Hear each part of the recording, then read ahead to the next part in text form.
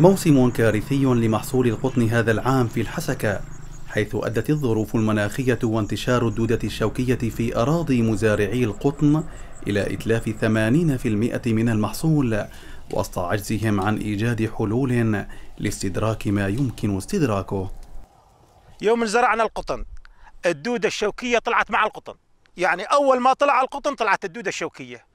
بلشنا نكافح بلشنا نشتغل بلشنا نرش دواء. من هون من هون ما زبطت معنا. هلا آخر شيء اليوم القطن طلع الموسم تبعه مضروب بشكل عام. يعني لا فائدة لا من ضمان لا من قطن لا من شيء لا من شياتين لا خيار للمزارعين سوى انتظار الأمطار ثم تضمين أراضيهم لمربي المواشي حيث إن استخدامهم المبيدات الحشرية في الوقت الراهن قد يتسبب في تسمم المواشي من جانب آخر يحاول المهندسون الزراعيون عبر دراسات يعدونها معرفة السبب الحقيقي وضمان عدم تكرار الكارثة في الموسم القادم. طبعا الأسباب كثيرة بس أكثر الأسباب آه، أنا أرجح هي الأسباب المناخية. هي اللي لعبت دور كبير.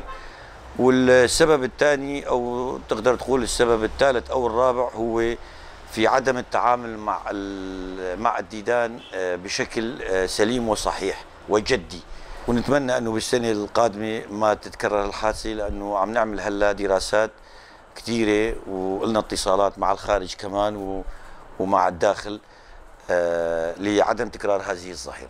الخسارة الكبيرة التي لحقت بالمزارعين هذا العام تفرض على الجهات المعنية بالزراعة في الحسكه تحركا جديا لمساعدتهم وضمان عدم تكرار موسم يدعو إلى التشاؤم وخيبة الأمل.